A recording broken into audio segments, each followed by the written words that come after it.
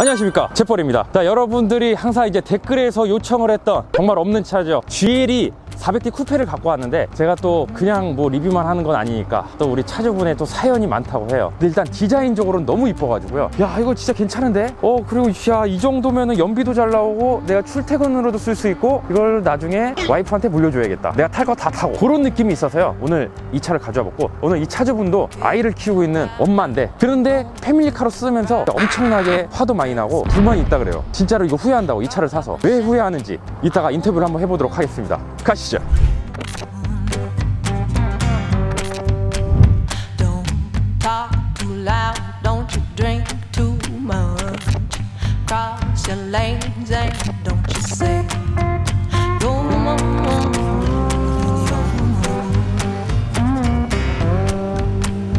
Oh, make yourself up and smile your best. 자 근데 진짜로 웅장하긴 하지 어, 저 벤츠 마크가 저렇게 큰 거 처음 본 것 같아. 사실은 이 마크를 다 이제 세로 그릴로 다들 튜닝을 하더라고 아, 그 튜닝한 거였어? 어, 다 이렇게 그렇게 따로 달고 나오는 거야. 그런데 이 마크는 이제 좀 우아한 느낌이 있고 세로 그릴로 하는 분들을 보면은 다 남자분들이야. 그리고 요 그릴은 일반 여자분들이 이렇게 냅두고 아 진짜로 좀 강력하게 생겼다. 이거는 좀 실물파다. X6랑 비교해도 전혀 안 꿀리지. 전혀 안 끌리는데? 그렇지 전혀. 어. 왜 까지? 나 이거 나- 괜찮은 것 나 같은데 너무 궁금해, 지금. 왜 까는지. 어, 이거 나 2년 뒤에 내가 탈 수도 있거든. 어. 아이고 안녕하세요. 안녕하세요. 저희 채널에도 여성 구독자분이 계셨다니 저는 이런 멧돼지 같은 차에 어, 여성분이 내릴 줄을 몰랐어요 먼저 저희 궁금한 게 보통 남자분들이 사시잖아요 근데 이 차를 왜 고른 이유가 뭐예요? 저는 좀 작은 차를 원했는데 네 남편이 이 차가 작은 차라고 저를 속여가지고 아, 아, 속였어요? 네. 아, 이거 너무 큰데요 이거? 네, 그쵸. 너무 커가지고 운전하기가 너무 불편해요. 이게 보면은 차 폭도 진짜 너무 넓어가지고 주차도 맞아요. 장난 아닐 것 같아요 네, 주차하기도 되게 불편하고 네. 또 이게 백미러가 또 광각 백 미러가 아니라서 되게 시야가 좁아요. 그래가지고 아, 너무 불편하더라고요. 운전을 잘해야겠구나 네. 새 차잖아요 완전 구하기 힘든 차거든요 이거 오래 기다려야 돼요 요즘에 이 차를 뭐 어떤 조건으로 좀 사신 거예요? 저희는 렌트로 샀고요. 아 네 5년 렌트하는 기준으로 선수금 5%. 60개월? 네, 60개월. 월 한 얼마 정도 나가요? 200 정도? 요 차에 좀 불만이 많다고 들어가지고 네네. 왜 이렇게 불만이 많을까? 차가 이건 이따 들어보도록 할게요. 네. 아 근데 진짜로 이 디자인이 제가 좋아하는 디자인. 이거 X6랑 QA 그리고 요렇게가 있는데 어떻게 그 세 가지 중엔 생각 안 해보신 거죠? 어, 원래 X6 살려고 준비를 했었는데 네. 차가 너무 안 나와가지고 인기가 많아서요? 그런가 봐요. 제가 어. 원하는 색상이랑 그런 네. 게안 나왔어요. 옵션이. 아 그런 것들이? 네네. 야 그래도 이거 나름 그래도 빨간색으로 골랐네요 딱 네. 특히 요 라인이 이제 요즘 솔직히 너무 대세예요 사실 그 이 쿠페 라인이 그래서 요 라인 때문에 이제 다들 GLE 450을 안 사고 GLE 400D를 이제 많이들 기다리시는데 이게 X6나 Q8이나 이 옆모습 같은 경우도 미세하게 다 달라요. 근데 저는 이게 제일 이쁘더라고요. 사실 요 정도 라인이 너무 부드럽게 떨어지는 이 라인이 이 차가 은근히 X6보다 좀 더 높거든요. 이제 이 발판 달린 것 때문에 어 이거 패밀리카로 쓰면 괜찮겠는데? 어때 편해요? 실제로? 어, 패밀리카로는 정말 아닌 것 같아요. 아니에요? 어. 아니면 뭐 디자인이 예쁘니까 네. 그 정도인 것 같아요. 그러면은 왜 아닌지 좀 불만을 좀 찾아볼까요? 일단은 아까 얘기하신 것처럼 일단 soft closing이 안 되잖아요. 그렇죠? 네. 딱 놓, 놨을 때 지금은 해놓은 거예요. 정품으로 해가지고 240만 원인가? 아, 이것도 벤츠 정품으로 따로 할 수가 있어요? 네네. 따로 아, 할 수가 있어요. 그럼 200 얼마를 드려야 되는구나. 네. 원래는 안 달려 있고 네. 이건 좀 문이 짧은 편인 거예요. 그러니까 그러니까 음. 레인지로버 같은 경우는요. 밑에 하단까지 다 덮어요. 아, 그렇구나. 문을 열면은 요게 다 나오는 거예요. 아. 그러니까 옷이 더러워질 일이 없어요, 원래. 그래, 맞아요. 근데 얘는 보시면은 이제 타고 내릴 때 저는 키가 커서 괜찮은데 저는 이렇게 한 방에 타면 되거든요. 이렇게 키가 작으면은 만약 여기로 올라가서 그쵸? 네. 올라가서 거의 웨이브를 쳐서 림보를 해서 지- 지나네 이 정도 이거 타실 때 여기 좀 머리가 박겠구나 그쵸? 네, 항상 머리가 닿아요. 어 그리고 바지도 잘 더러워지고 네. 구조상으로 이런 게 좀 이제 단점이 되겠네 근데 이 디자인 같은 경우는 원래 보던 벤츠라서 뭐 크게 뭐 그런 건 없었는데 아, 실내 색깔을 왜 검은색으로 하셨어요? 이거는 옵션이 나와 있는 거를 저희가 구매를 한 거라서 아, 이미 따로 세팅된 거를요? 선택한 건 아니에요. 어 디자인은 크게 불만인 건 없죠 그래도 네, 외관은 뭐 어. 괜찮은 것 같아요. 하차감은 진짜 좋아요. 하차감은 좋아요 내렸을 때 어머 마음에 누, 들어요. 누가 엄마 네. 벤츠 샀어? 그쵸? 네, 너무 좋아요. 굳이 얘기 안 해도 그쵸? 휠도 이게 20인치인데 왜 작아 보이는 줄 알아요? 요즘 AMG들이 다 여기가 이렇게 두껍게 해서 나와 이러다 보니까 요게 공간이 작아서 휠이 작아 보이는 거예요 이것만 없어도 되게 커 보이거든 이게 원래는 오프로드용이라서요 타이어가 이렇게 두껍게 나오는 거예요 뒷좌석에 대한 불만을 엄청 털어놨잖아요. 진짜 뭐 어떤 게 불만이에요? 위에는 공간이 괜찮은데 이 뒤쪽에 목이 이렇게 꺾여요. 목베개를 하면 괜찮은데 목베개를 안 하면 너무 불편하더라고요. 달리거나 네. 아, 이럴 때. 그럼 살짝 이렇게 편하게 목을 할 수가 없는 상태네요. 네, 이게 최대한 눕힌 건데 이렇게 돼요. 계속. 근데 여유는 되게 있죠. 네, 여유는 있어요. 어. 이거 자리도 처음에는 이게 좀 꺾여 있어서 좀 편안한 느낌이었는데 네. 좀 오래 타면 되게 불편하더라고요. 아, 그 아직은 뒷좌석 탈 일이 거의 없잖아요. 애기 빼고는. 네, 맞아요. 그렇죠. 그래서 아직은 못 느낄 수도 있는데 애가 컸을 때 아 괜찮구나. 아직도 한 10년 이상 기다려야 되잖아요. 그렇죠. 네. 바꿔야 될 것 같아요. 아 일단 공간 자체는 뭐 나쁘진 않은 것 같아요. 그렇죠? 네, 맞아요. 공간 자체는 나쁘지 않고 이게 원래 어, 썬블라이드가 없는 거죠? 네, 없어요. 따로 다신 거예요, 이거는? 네, 아, 이것도 싸제로요? 네. 아, 이런 옵션이 좀 아쉽네. 그러니까 패밀리카 옵션 중에 되게 중요한 건데. 그 이외에는 이제 뒷좌석은 다 괜찮고요. 사실 제가 많이 안 타서 뒷좌석에는 아, 그렇죠.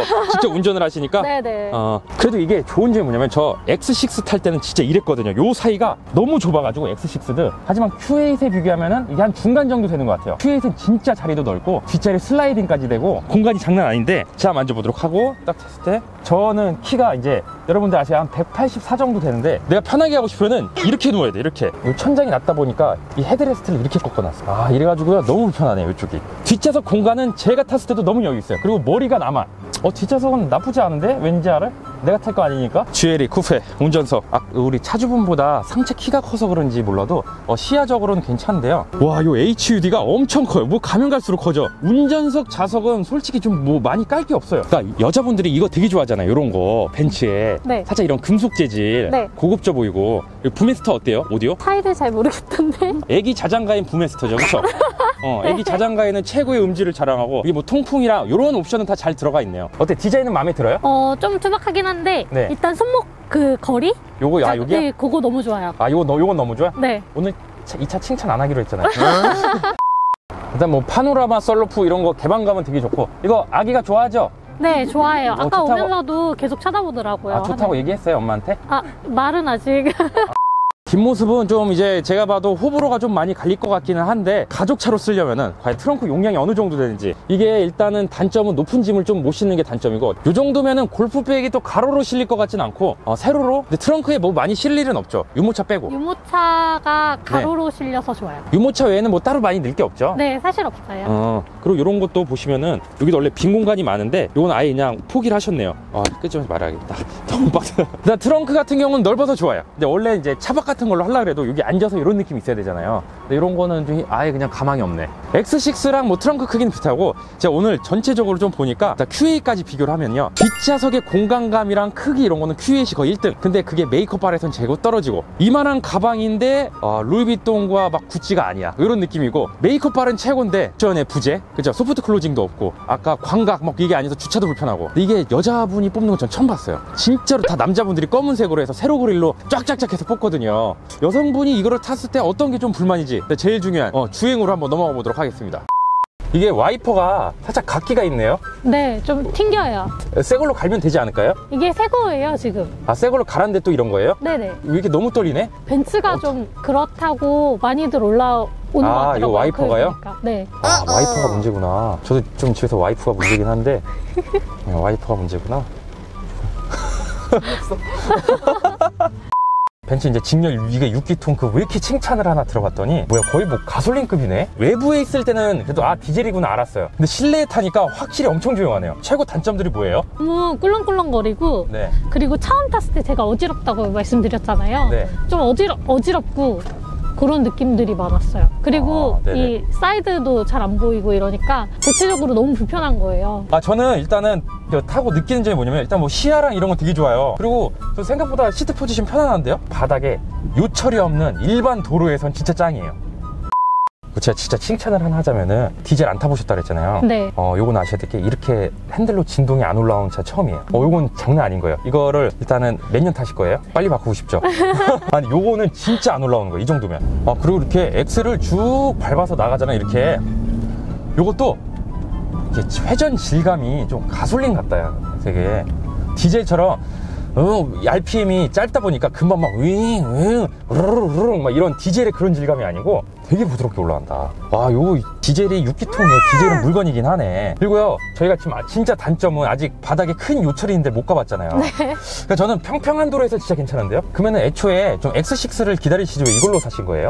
X6를 6개월을 예약을 걸어놨었는데 네. 원하는 옵션이 들어오질 않아가지고 네. 그래가지고 기다리다가 벤츠를 아는 분이 샀는데 너무 괜찮은 거예요. 네. 이거보다 아래 모델인데 GAC? 네. 네. 그게 너무 괜찮아가지고 그걸로 사고 싶다라고 했더니 어 그게 있다고 바로 네. 주문하겠다고 남편이 그러더니 일주일 만에 차가 나온 거예요. 네.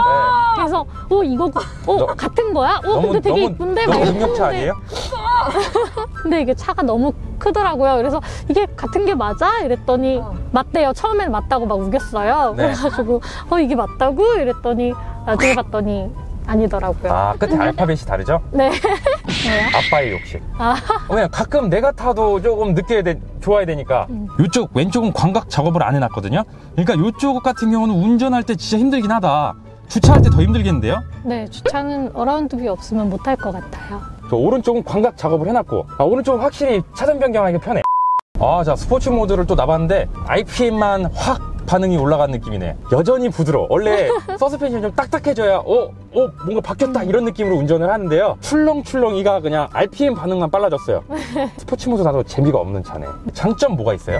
실내등 켰을 때 네. 실내등이 너무 예뻐요. 아, 이게 너무 이쁘다고요? 네. 와, 이런. 이런 게 장점이구나. 와, 이런 거 생각 한 번 안 해봤거든요? 와, 여자가 봤을 때. 장점. 역시 아름다움. 디자인.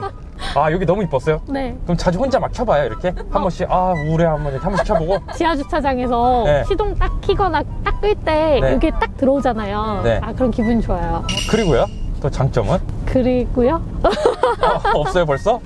음, 어, 제가 뭐 요거에 대한 장점을 좀 얘기를 하자면은 일단 디젤이잖아요. 역시나 기름값이 좀 싸고 그다음에 주유소를 많이 안 가보셨을 거예요. 그쵸? 분명히. 네네. 맞아요. 연비가 좋거든요. 맞아요. 단점으로 치면은 X6보다도 한 몇백 킬로 무게가 더 나가요. X6예요. 네. 한 세네 명 탔을 때 무게예요. 이 차 무게만. 음, 차가 무거운 데 비해서 어차피 디젤이기 때문에 연비가 좋죠. 거기다가 기름값도 더 싸고 어, 이런 게 이제 굉장한 장점이고 이거 진짜 조용한 거예요 디젤이. 음. X6 30D 타보시면 알아요. 어쨌든 이런 조용함이 진짜 좋은 거거든요. 근데 제가 좀 단점 느낀 건요. 여기 시야 너무 가린다. 그죠? 이게 너무 큰데? 어, 이게 또 단점이 네. 차폭이 너무 넓어서 네. 주차할 때 저 네모 칸에 딱 맞더라고요. 그래서 타고 내리기 너무 불편해요. 저는 만약에 다시 차를 산다 그러면 이 네. 차는 안 살 것 같고 GLC나 아니면 X6? GL 쿠페. 어, 출퇴근으로 매일매일 그냥 편안하게 타실 분들 강추. 주유소 갈 일도 없어요. 나는 주행을 좋아하고 좀 빠릿빠릿한 움직임 그리고 밟았을 때 그 즐거움 원하시면 절대 이차 사면 안 돼요. 옵션도 많이 빠져 있고 그에 비해서 가성비가 떨어집니다. 어, 그렇게 생각하시면 이 차 사시면 안 되고요. 맨날 출퇴근을 한다고 생각하면 너무 좋을 것 같아요. 그래서 좀, 좀 고려 중이에요. 빨간색 말고. 블랙으로 그 앞에 세로 그릴 딱 해가지고요. 한 2년 타다가 물려줄게요. 그리고 나는 혼자 이제 오픈카를 딱 타고. 이상 재벌이었습니다